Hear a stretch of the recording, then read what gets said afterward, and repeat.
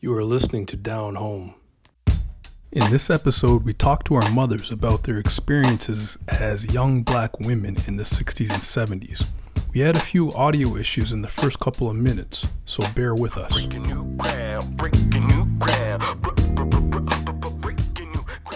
Welcome to Down Home, the Nova Scotian experience from two black men. Uh, we have a very special episode this week uh, with our mothers. Reason that we're bringing our mothers on this week, uh, I, we really do believe that black women have been the driving force in keeping families and neighborhoods together. And uh, we wanted to bring our mothers on to add their voices to our discussion. So we have uh, Heather Chandler, who is my mother. Give a wave, mom. That's my mother, and we have Stacy Jones, who is uh, Jay Jones' mom, right there, and of course we have Jay Jones. Hey, what's happening, people? right.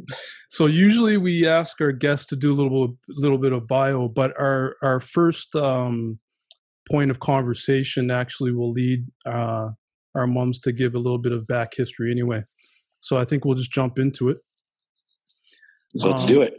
So we, we we to begin, we really wanted uh, both of you to talk about your upbringing and essentially what it was like to be uh, young black women in Halifax in the 60s and 70s. Uh, Mom, why don't you start off? Wow. Where do I start? It's um, a loaded question. it is. Well, you know, I when I reflect on my childhood, I realize really how lucky I was. Lucky because we grew up in a real uh, family of, of a whole neighborhood um, in the middle of the city.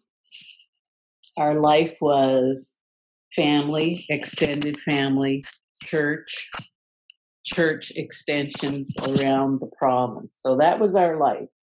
And it was really well sheltered until we went to school. And so, having that basis, we had a strong um, sense of identity, a sense of being, and we were always taught to have purpose. And so, and, and when I say taught to have purpose, our parents um, really instilled in us that we had to develop a purpose, stay with it, um, and have dreams and go for those dreams. And so, from that perspective, I always look at my childhood as, uh, favorable. Moving into the, the 60s and 70s, 60s was a great time for me. Um, we had a very sheltered we led a very sheltered life as children. Our parents really protected us, so they didn't want us traveling too far from our neighborhood. And that's something that I, for the most part, ignored a little bit as much as I could. And so it led me to places like Rocky Jones's Kwacha House, which I believe saved my life in the 60s um, growing up to that point, uh, and reaching teenage years, I always knew that um, there was a difference between my life and my white counterparts' lives.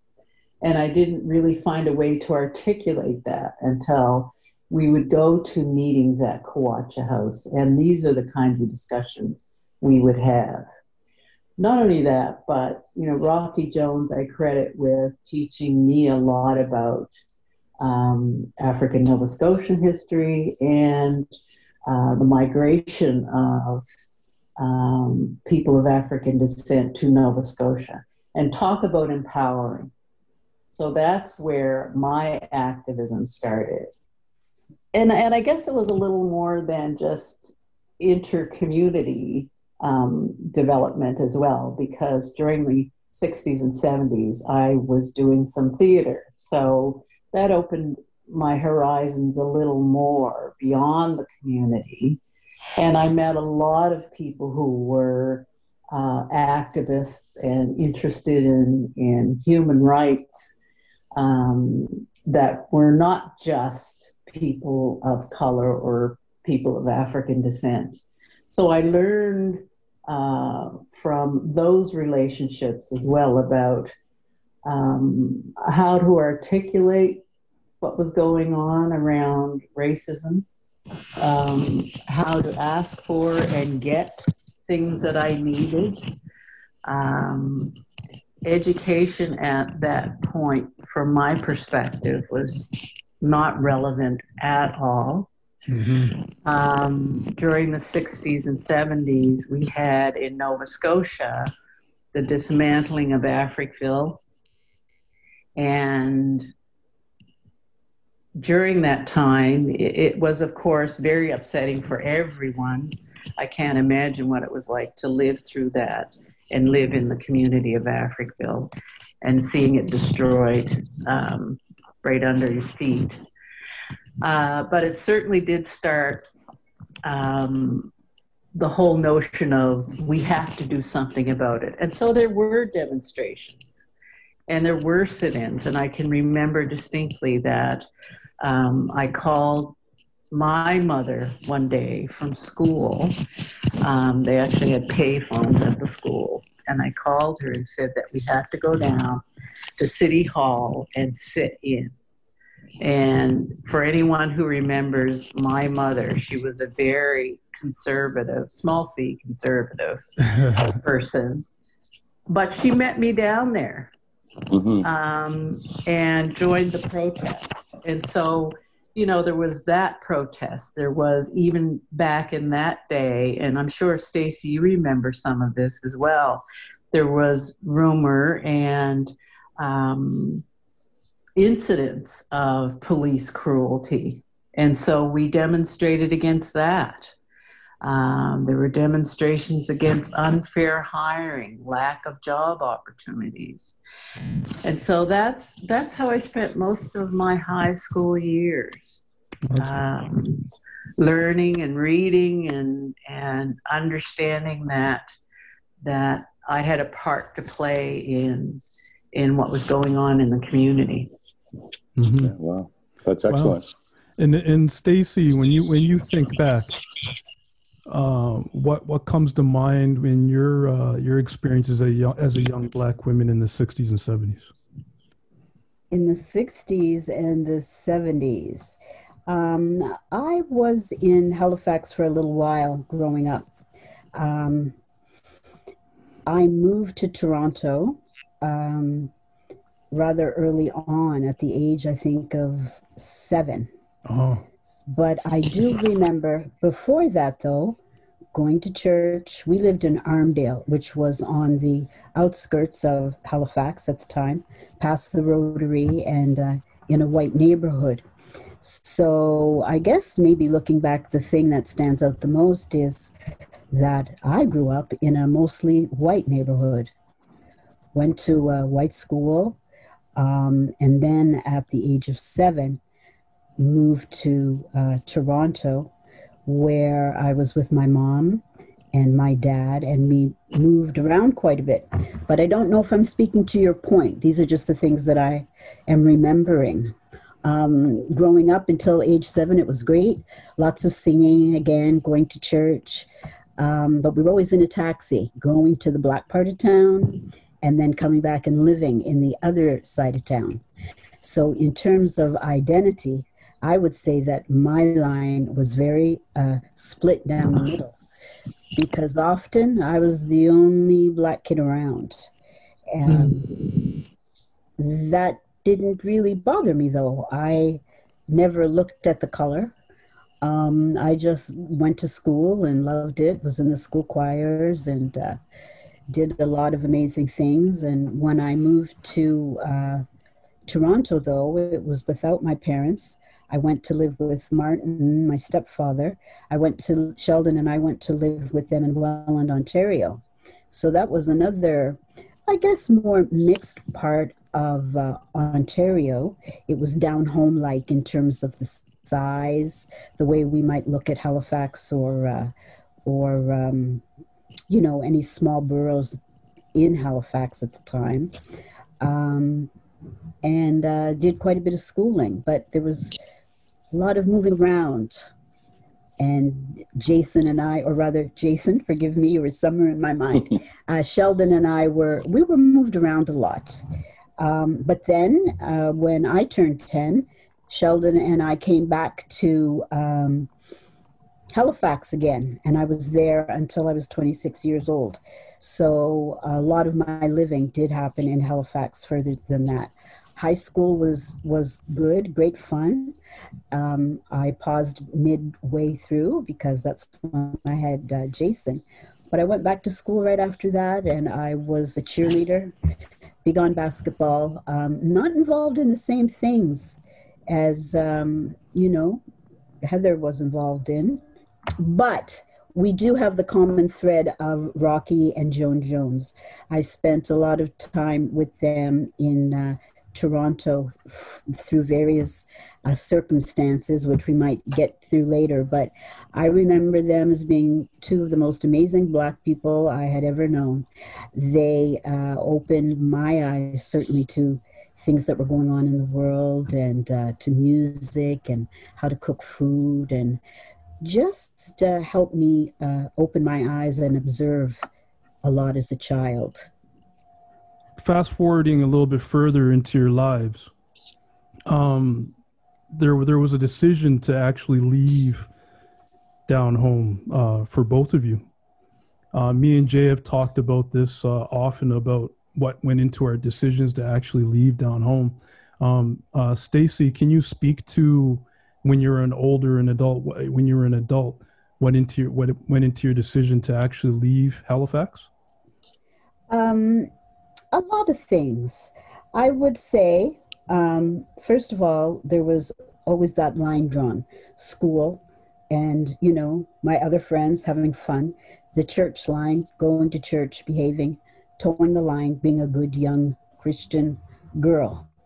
Um, as i grew older God forgive me, uh, seeing what was happening in church, seeing what was happening in the world, um, I began to just see that, you know, I'll just say it, you know, hypocritical types of teachings happening, okay, um, which just make you open your eyes and question things more.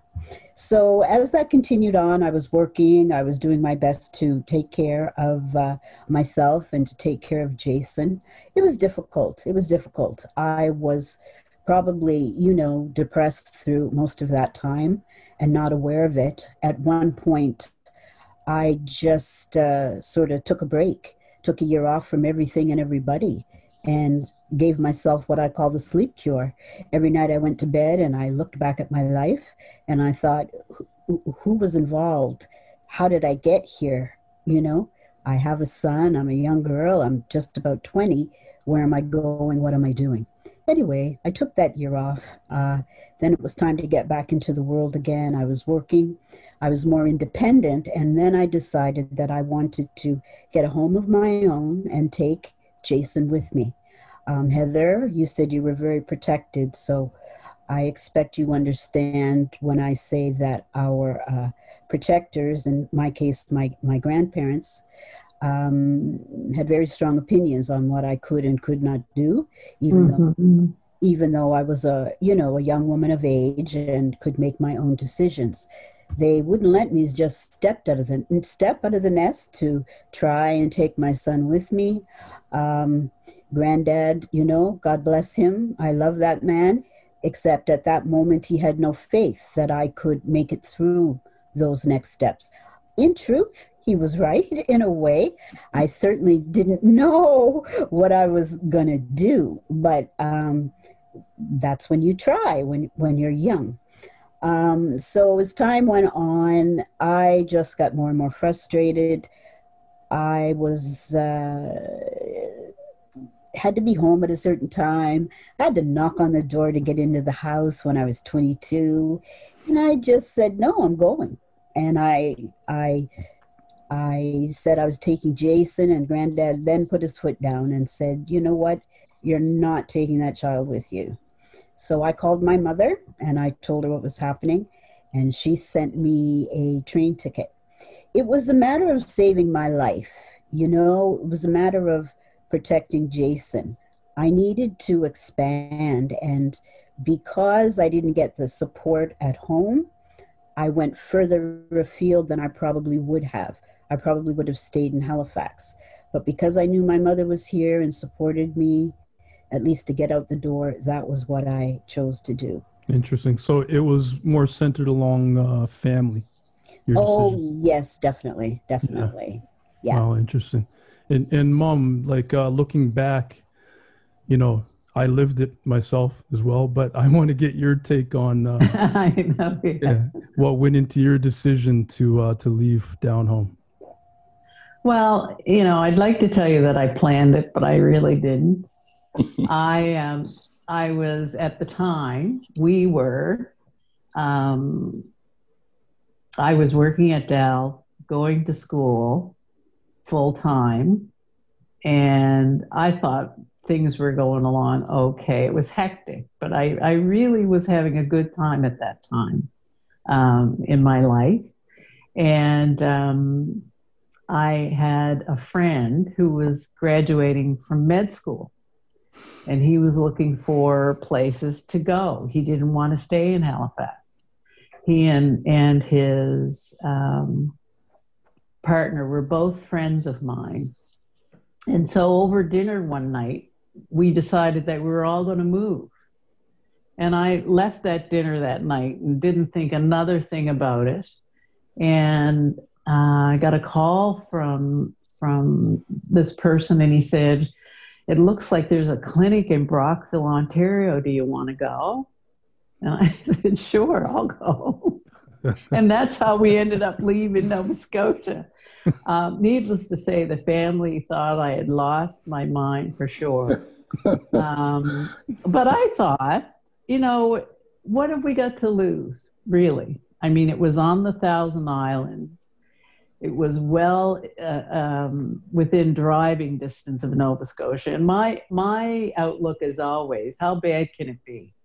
You know, there's always home. You can always go home if it gets bad. And so that's how we ended up uh, leaving Nova Scotia. I drove whatever I could in the car.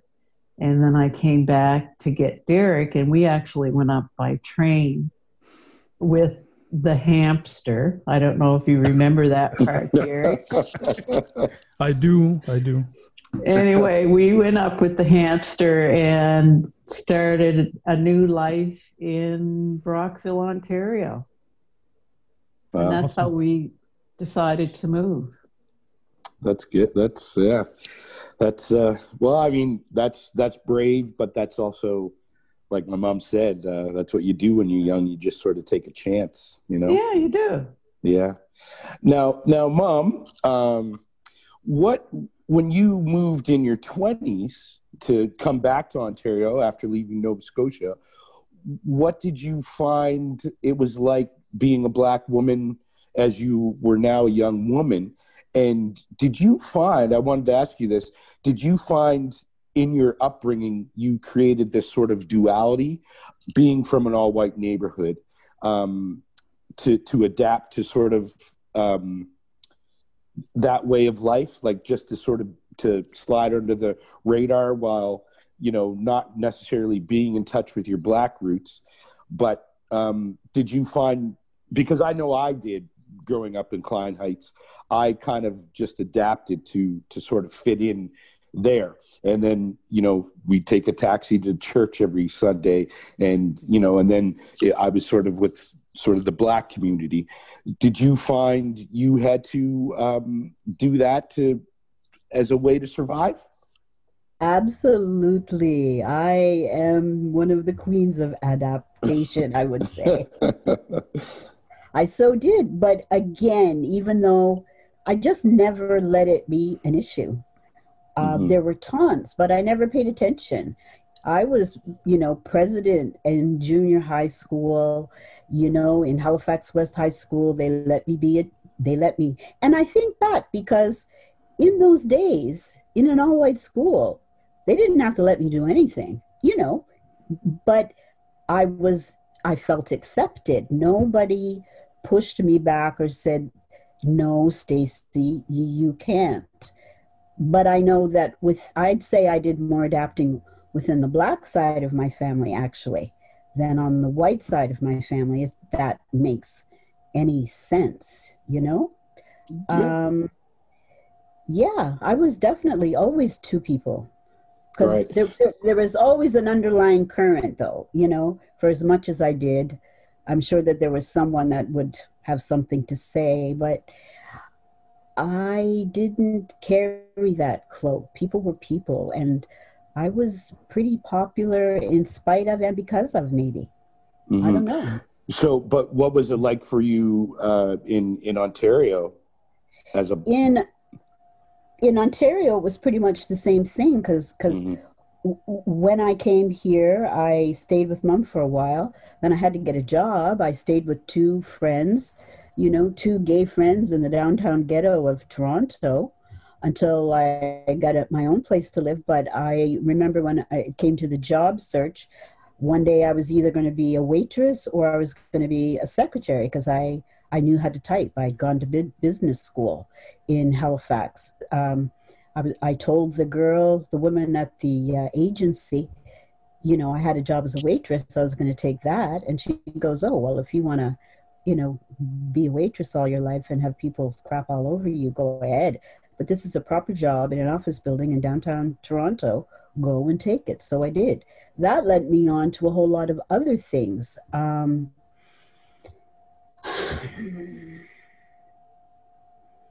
I know there always has been racism, but I don't know how much it has really stung me. Does that answer your question? Yeah, yeah, yeah. Of course, of course. Okay. So, Okay. what what what went in your decision to go back to Halifax as as a you know when you were you were you were in Toronto from seven until ten? Till 10. Yeah. Um, what made me go back to Halifax? Did I go back to Halifax? 7 till 10. I was in Halifax then until I was 26. Right, Then I came back to Toronto. right. And after years in Toronto, then I moved to Newfoundland. So, I see. Okay. So, yeah, no, that's good. so your decision to go to Newfoundland after you, like when you're you're an adult, you're chilling in Toronto. You're, you've you've made a life, right? hmm Why go back to the Maritimes? Yeah. Um, I uh, when I was working, the last job I had in uh, Toronto, in Hal- Halifax, was at the Clipper Cay restaurant. And Heather, I have to tell you, I worked at Dalhousie University for four years, so we also have that in common. Isn't that Yeah. funny? We'll talk about that another time. But anyway, Yeah.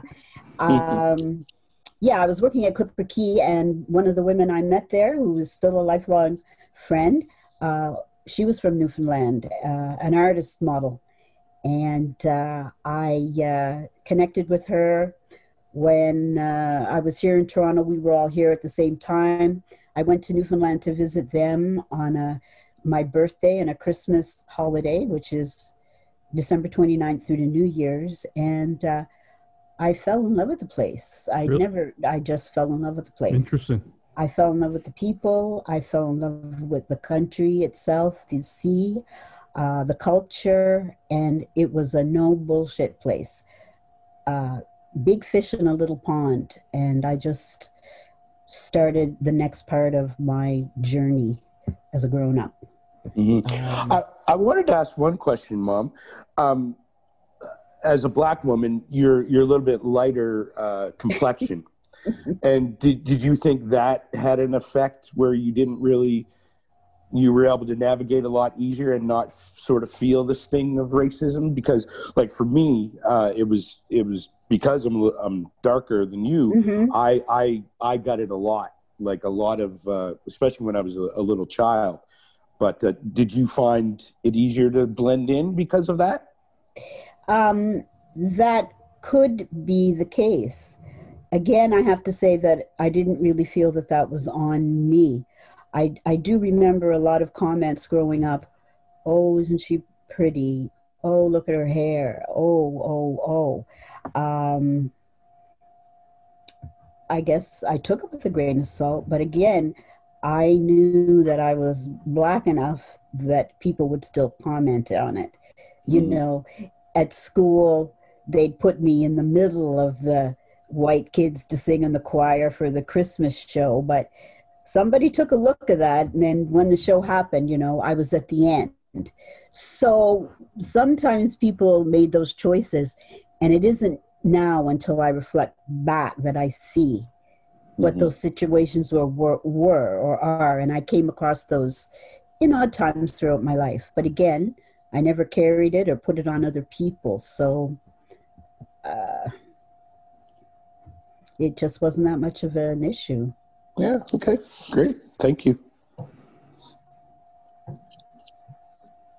Uh, and uh, and mom, what what about you? When uh, like your uh, your experiences in the uh, the '80s in Ontario, uh, did you find there was a huge cultural difference between being you know growing up growing up in the north into Halifax, predominantly black uh, neighborhood, and then going to Ontario? Uh, what Mm. were the what were the major differences that you saw? Well, I guess just just to walk it back a little bit, I was from an early age, as I think I said, cognizant of race. Moving to Ontario, it just meant a different flavor. That's all. Mm. And you recall that we, when we moved to Brockville, it was a really rather small town. And we were one of two racially visible families at the time. Mm-hmm. So because I worked in a in a doctor's office and had some authority, people viewed me uh, a little differently than they would with would have viewed a black woman without authority. hmm People are most vulnerable when they're dealing with doctors, and they all had to go through me, and they all have to. So it's a different kind of feel. Um, and I've experienced um, racism in the same way uh, in Ontario as I did in Halifax. Um, as I said, it's just a different flavor. Hmm Mm-hmm. And, and I always recall that um, once, once being, once the experience of being a parent to a black child, uh, was was my everyday experience, um, then you don't get away from it. Mm-hmm. You know, I was constantly telling people that um, it was okay for my son to draw and color in brown people. Teachers always had an issue with that. You know, we're trying to teach him not to see himself as different.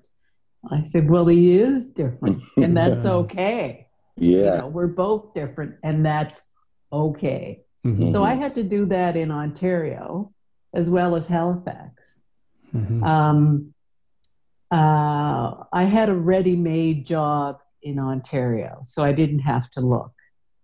But i dare say that you know my lived experience taught me that perhaps it wouldn't have been so easy for me to walk into a job especially at the level where i was.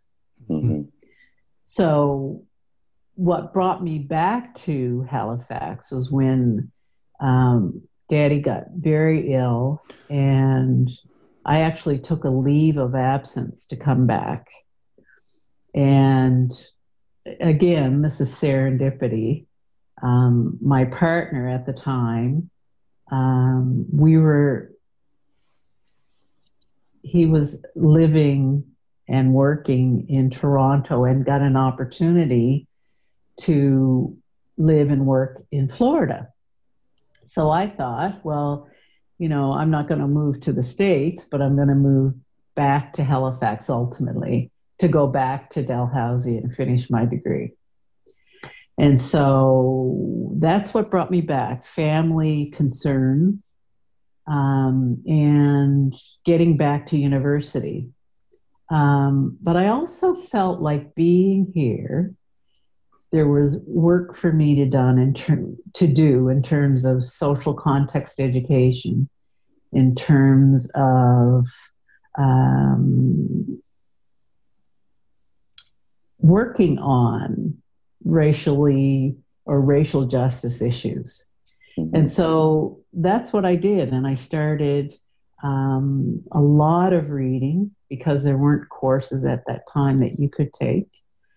Um, I graduated university and ultimately started working on another uh, discipline, which is human resources. And then I started uh, providing social context education. So, teaching people how to identify systemic issues, whether it's racism or sexism or homophobia, homophobia rather, uh, mm-hmm. in education and health and in community living. And so I've sort of always been in the vortex of looking at race on a minute by minute basis. Mm-hmm. Um, and it's something that I've both enjoyed and something that's caused me a great deal of angst over the years. Yeah. Um, just because I'm having a conversation with you, Jason, and Derek that my mother might have had with me and did have with me mm-hmm. around issues of racism in our community. Mm-hmm. And so, you know, while there have been improvements, my job was always to get people in organizations to look at systemic practices and how that is where the difference is going to be made. Yeah. Um, you know, it's okay. I call it diversity tourism you go and buy knickknacks or you you know you have um, potlucks and that kind of thing there's nothing yeah. wrong with potlucks yeah. not at all no but you know the state of affairs is that we need to look a little more deep and below the surface than that so I don't know if I've answered your question or not, but I think that I've never gotten away from the issues of systemic discrimination. And of course, then there's the intersection of being female, being black, yes, and at one point being a single parent. Yeah. So you know, it's like a yeah. salad of yeah. This is how you have torture in your life. Yeah. Um, yeah. I'd like to add something in, if I may, in terms of course. Of, of what Heather was saying in terms of the community work that you did, in terms of racism towards me, preconceptions that people have about people of a certain color, the color of my skin. As I look uh-huh. back and reflect, I there were many many times in my life where I had been, um, you know, followed by crazy men in cars, um, propositions made to me, you know, out of car windows as I'm simply walking to work. Mm. Um, even young girls, I remember on uh, Isabella Street where I lived, they would warn me that the cops were coming out. So I think for me, if there was any issue, it wasn't uh, racism as much because I looked the way that I did with a full figure, a young face, and all the rest of it, there was, uh, I would say that that type of racism, or I guess we can call it sexism. I don't yes, know. of course. Proper terms. That is something that I can say has uh, followed me throughout my life, no matter where I was, both in Halifax, in uh, Toronto, and in Newfoundland and, you know, even now, occasionally, you still get that same odd thing happening. So I just wanted to, it came to mind as you were speaking, Heather. So mm-hmm. I thought I should add that in, in terms of another way we're looked at, you know? Yeah, mm-hmm. definitely. It, um, you know, there, not only that, um, just on a side note, I know we, we haven't talked about this, but the, um, the portrayal of black women in, in, in media. Um, and and how you know erroneous it is. Like, and, yes. but the the thing is though, uh, uh, being a black woman and and um, and seeing these betrayals of how black women are are in movies and, and even in the news sometimes. Mhm. You know, what are your thoughts and feelings about that? Mom, go ahead. Well, from my perspective, I have always um, seen that there is um, a portrayal of people that look like me that I didn't care for. hmm Um, and this, to my mind, is so important why conversations like this are so valuable to bring to light that there is a portrayal of of any given ethnicity or group of people that may not exactly be accurate. And so, um, you know, even today, sometimes it's not as blatant as it used to be, mind you, but it's still there. Still And there. that's why critical thought and critical education is so important Mhm. because I don't believe that those things change without it. How does it slip by? How many people in boardrooms see it but don't see an issue? Mhm. And so that's why conversations like this and education around um, critical examination is so very important. Yeah. Yeah, it, yeah, and it really starts in, in in the area that you sort of started to focus on when you came out of school. You know, um, like you mentioned, it was uh, we uh, Derek and I have had these uh, conversations many times, uh, just about where the systemic race racism does exist in you know sort of like in law and in police Uh-huh. and and Uh-huh. everything like that. Like Uh-huh. those are the things that are so ingrained that are really stopping us from sort of evolving just as human beings you know Yeah. um, Yeah. so i i totally agree the conversation has to be had there and the education uh, is definitely important you know Absolutely. And it goes beyond being nice to your fellow human being. of course yes It goes to examination of policies, practices, and procedures. hmm And that's hard work. That is heavy lifting. Yeah Any organization that commits to a review of that kind is really committed to change.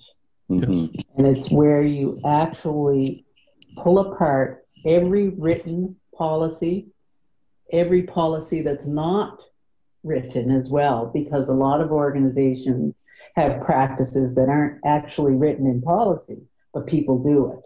Yes You know, for example, asking so and so if they know somebody who'd like to work at this job. Well, that's not how you build equity in an organization Yeah. because usually that person is a white, able bodied male. Usually. Yeah. Yeah. Not always, but usually. So chances are that the person they're going to refer, chances are that that person will then be a white, able bodied Christian male. hmm Um, you know, that's a, that's a pretty standard observation. Um, but that's usually how it goes. And, and all you have to do to prove that theory is look at uh, what organizations look like at top management. Um, you know, it just requires a little bit of critical thought. Yeah. True. Why is it that everyone who's in a position of authority looks the same Yeah. from an ethnic perspective, from a gender perspective? Mhm. Um, and that's where uh, the questions need to be asked and the conversations need to be had. Yeah. Yeah. It's a, it's not um, and it's not a natural thing for a lot of people to question. You know. Um, That's right. and that's why work has to be put into it i think and um, we've we me and jay have had this discussion before where you know the it's good to have this discussion about systemic racism because when you're thinking about it there aren't a lot of overt racist things that happen day to day in our lives the this because we surround ourselves with like people Mhm. Yeah. so you know to to point out you know, maybe that interaction with that particular person wasn't great. You know, you have to sit back and think about it and say, ah, maybe it wasn't. Yeah, it happens after you walk away. Yeah. Yeah. Yeah. It Yeah, sure that's- does. Yeah, that's the thing. Yeah. Um, well, that this has been great. Uh, Jay Jones, want to take us out? Yes, I mean, I mean, this is truly uh, thing I love about what Derek and I are doing is it, it allowed us to sort of bring some of our the people we know uh, together to talk about the experiences, and you know, during this past summer, a lot of things have happened, and it's triggered things in me and in Derek, and we started to have this discussion, and we wanted to sort of celebrate um, the resilience of people who were from Nova Scotia. So we have some people lined up in upcoming episodes, and it has just sort of brought um, us together to share the experiences um, of of our upbringing. And I mean, of course, it's a huge, huge honor to have our mothers. Um, who Derek and I have been friends for so so long, and it's it's cool. I know you guys know of each other, but I really loved how um, your worlds were really connected. I mean, Halifax is a small city, but the fact that the, the fact Heather that you sort of uh, got some mentorship and guidance from our relative Rocky Jones, um, it, it it's empowering to know that um, uh, where we come from and the power that you two as women uh, in the circumstances that you had um, gave us you know your best your the best environment that we could have. And, and i'm glad derek and i have been able to uh, carry carry it on together as friends. Um, so i just want to say uh, both of you are both amazing women and uh, inspiring and empowering and um, mom i'm glad to call you mom. And and heather you were always kind of my second mom growing up as well when derek and i became friends. So i want to thank you. And uh, what Thank we had our, you. our first episode was called this is us. And uh, this episode is called this is them. And for everyone out there listening there is no us without them. So these are our mothers heather chandler and stacy jones. And thanks for your insight and sharing a little bit of your story. This has been another episode of down home and we look forward to bringing you more content in the future and sharing uh, this experience to keep conversations alive. Word. Breaking new ground, breaking new ground, Br- br- br- br- br- br- breaking new ground, breaking new ground, You have been listening to Down Home. Subscribe wherever you listen to podcasts.